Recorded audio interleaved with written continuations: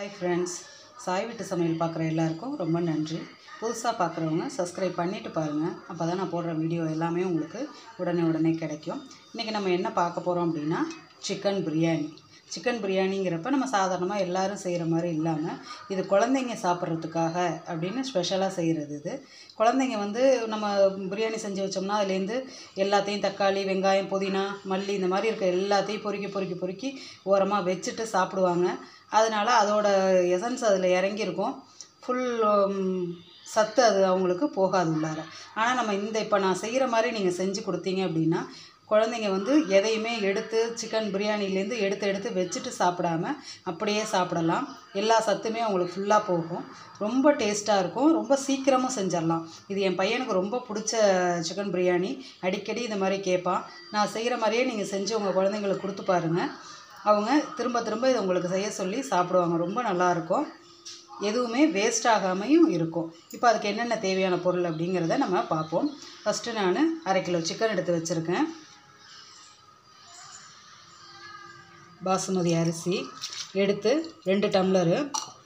இந்த டம்ளரால் ரெண்டு டம்ளர் எடுத்திருக்கேன். ரெண்டு டம்ளர் எடுத்து கழுவி அரை மணி நேரம் ஊற வச்சுருக்கேன். ரெண்டு டம்ளருக்கு நாலு டம்ளர் தண்ணி ஊற்றி ஊற வச்சுருக்கேன் நான். இப்போ நம்ம இந்த சிக்கனுக்கு தேவையானதை ஃபஸ்ட்டு கொஞ்சம் எடுத்து ஊற வச்சு வச்சுக்கிட்டு அடுத்து என்னென்ன செய்யலாங்கிறத காட்டுறேன் நான் உங்களுக்கு. கொஞ்சோண்டு மஞ்சத்தூள் போட்டுக்கலாம். ஒரு ஸ்பூன் சின்ன ஸ்பூன் தான் பாருங்கள் வேற வரமிளகாத்தூள் போட்டுக்கிறேன். அரை ஸ்பூன் கரம் மசாலா தூள் போட்டுக்கிறேன். சின்ன ஸ்பூனில் இதில் இஞ்சி பூண்டு பாருங்கள் சின்ன ஸ்பூனில் ஒரு ஸ்பூனு இஞ்சி பூண்டு பேஸ்ட்டு போட்டுக்கிட்டேன். தயிர் ஒரு ஸ்பூனு. நிறைய தேவையில்ல. தயிர் ஒரு ஸ்பூன் போதும். இப்போ இது எல்லாத்தையும் நம்ம நல்லா பசைஞ்சு எடுத்து ஊற வச்சிடலாம் ஃபஸ்ட்டு பாருங்கள் நல்லா பசைஞ்சிட்டேன். இதை அப்படியே ஊறிகிட்டு இருக்கட்டும். இது ஊறுறதுக்குள்ளார அடுத்து இதுக்கு தேவையானது என்னென்ன மசாலா எப்படி ரெடி பண்ணுங்கிறத நம்ம பார்த்துடலாம் இப்போ இது ஊறட்டும் எடுத்து வச்சிடலாம். இப்போ பாருங்கள் இந்த பொருளெல்லாம் இப்போ இதுக்கு தேவை. இதெல்லாம் இப்போ என்ன செய்ய போகிறோங்கிறத சொல்கிறோம் ரொம்ப ஈஸியாக இருக்கும். ரொம்ப சிம்பிளாக குயிக்காக செஞ்சிடலாம். நீங்கள் குக்கரில் செய்கிறது தான்.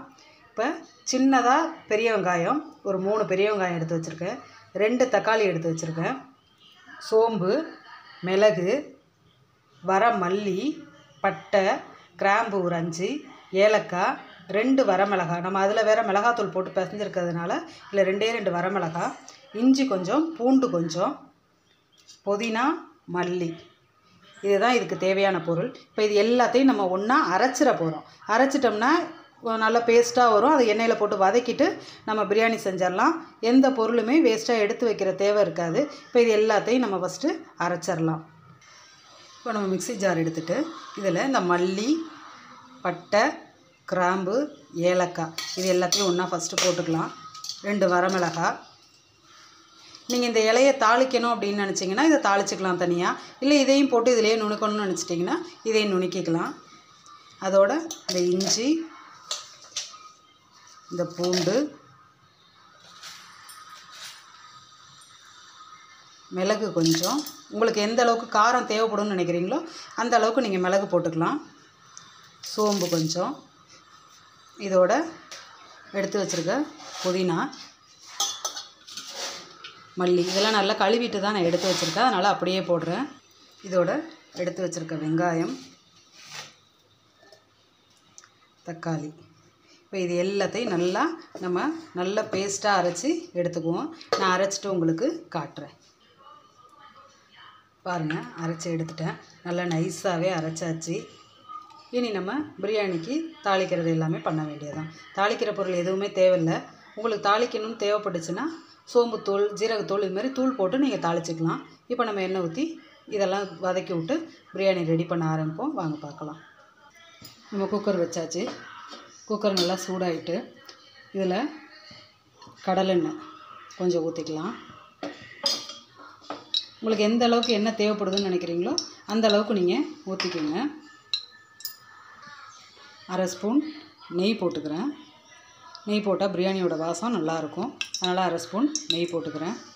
இது நல்லா சூடாகட்டும். பாருங்கள் எண்ணெய் நல்லா சூடாயிருச்சு. இப்போ இதில் நம்ம அரைச்சி வச்ச பேஸ்ட் எல்லாத்தையும் எடுத்து போட்டுக்கலாம். எல்லாத்தையும் போட்டாச்சு. இது அந்த எண்ணெய் நெய் ஊற்றினதில் நல்லா வதங்கட்டும். உங்களுக்கு இதில் காரம் பத்தலைன்னு நினச்சிங்கன்னா இந்த வதக்கிற நேரத்துலேயே நீங்கள் கொஞ்சம் வரமிளகாத்தூள் போட்டுக்கலாம். வாயில் வச்சு பார்த்தீங்கன்னா உங்களுக்கு தெரியும். ஏன்னா நம்ம சிக்கனில் கொஞ்சம் போட்டு பிசைஞ்சிருக்கோம். இதில் ரெண்டே ரெண்டு காஞ்ச மிளகா தான் போட்டு அரைச்சோம். உங்களுக்கு வந்து க- பத்தலை காரம் பத்தலை பிள்ளைங்க இன்னும் கொஞ்சம் காரம் சாப்பிடுவாங்க அப்படின்னு நினச்சிங்க அப்படின்னா இன்னும் கொஞ்சோண்டு இதில் நீங்கள் வரத்தூள் போட்டுக்கலாம். இதில் கொஞ்சம் நம்ம உப்பு போட்டுக்கலாம். நீங்கள் பிரியாணிக்கு இதுக்கு எல்லாத்துக்கும் சேர்த்தே எவ்வளோ உப்பு போடணும்னு நினைக்கிறீங்களோ அதை இதில் போட்டுக்கலாம். இது நல்லா இதில் வதக்கி விட்டுருங்க. கொஞ்ச நேரம் வதக்கினோடனே இந்த பேஸ்ட் நல்லா வதங்கி பச்சை வாசனை போய் எண்ணெய் பிரிஞ்சு வரும். இந்த மாதிரி நேரத்தில் நம்ம சிக்கன் எடுத்து போட்டு இதில் கரெக்டாக ஆரம்பிச்சிடலாம். இது நல்லா பச்சை வாசனை போக வதங்கிருச்சு. நல்லா வாசம் வருது. எல்லா இதோட வாசமும் நல்லா வருது. இப்போ நம்ம என்ன பண்ணலாம்?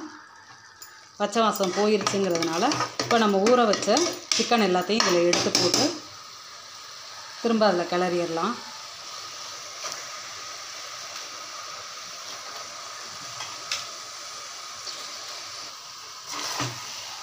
இதை நல்லா இதில் வதக்கி விட்டுருங்க. ஒரு அஞ்சு நிமிஷம் வதங்கி அந்த மசாலா சிக்கனில் ஏறட்டும்.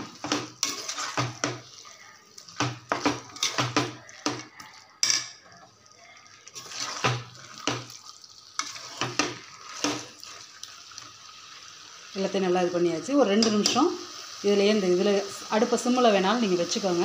சரி ஒரு ரெண்டு நிமிஷம் மட்டும் இந்த மசாலா சிக்கனில் ஏறுற மாதிரி இருக்கட்டும். இப்போ எல்லாமே நல்லா அதோட சேர்ந்து பாருங்கள் எண்ணெய் பிரிய ஆரம்பிச்சிருச்சு. இப்போ நம்ம என்ன பண்ணலாம்? அரிசியும் தண்ணியும் எடுத்து வச்சுருக்கிறத இதில் நம்ம எடுத்து ஒன்றா போட்டுக்கலாம்.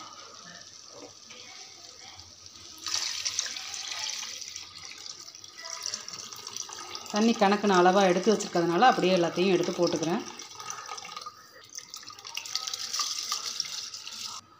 பாருங்க தண்ணி அரிசி எல்லாம் வந்து போட்டாச்சு. இது நல்லா கொதி வரட்டும் இப்போ. இல்லை இந்த நேரத்துலேயே நீங்கள் மூடி போட்டு விசில் விட்டு ஆஃப் பண்ணுறதுனாலும் பண்ணிக்கலாம்.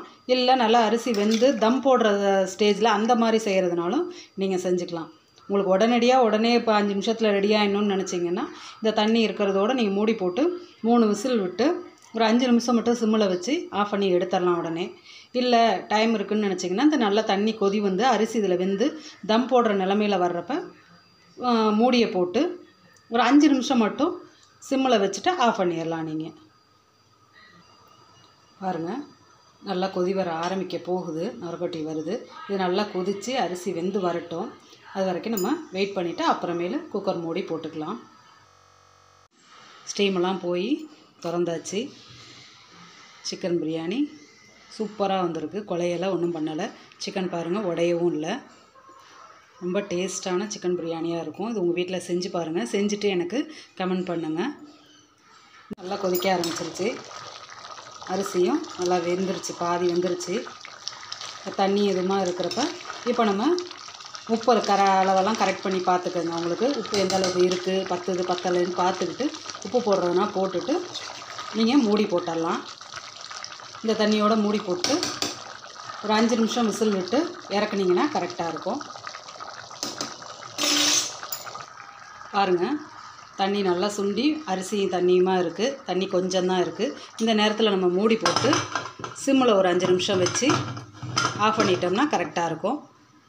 உங்களுக்கு திரும்ப ஆஃப் பண்ணி சிம்மில் வச்சு ஆஃப் பண்ணி எல்லாம் முடிச்சுட்டு எடுத்து காட்டுறேன் பாருங்கள் ஸ்டீமெல்லாம் போயிருச்சு. திறந்துட்டேன். ரொம்ப சூப்பராக ரெடியாக இருக்குது உதிரி உதிரியாக இருக்குது கொலையெல்லாம் எதுவும் பண்ணல பாருங்கள் தண்ணி நான் சொன்ன அளவு நீங்கள் கரெக்டாக வச்சிங்கன்னா அப்படியே இருக்கும் பாருங்கள்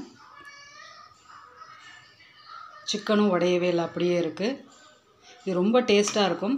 குழந்தைங்களுக்கு கொடுத்தீங்கன்னா எதையுமே எடுத்து வைக்காமல் இது அப்படியே அவங்க சாப்பிட்றலாம் ரொம்ப டேஸ்ட்டாக இருக்கும். குழந்தைங்களுக்கு ரொம்ப பிடிக்கும். இந்த மாதிரி நீங்கள் வீட்டில் செஞ்சு பாருங்கள் செஞ்சுட்டு எனக்கு கமெண்ட் பண்ணுங்கள் இந்த வீடியோ உங்களுக்கு பிடிச்சிருந்துச்சு அப்படின்னா லைக் பண்ணுங்கள் ஷேர் பண்ணுங்கள் கமெண்ட் பண்ணுங்கள் சப்ஸ்கிரைப் பண்ணுங்கள் அப்போ தான் நான் போடுற வீடியோஸ் எல்லாமே உங்களுக்கு உடனே உடனே கிடைக்கும்.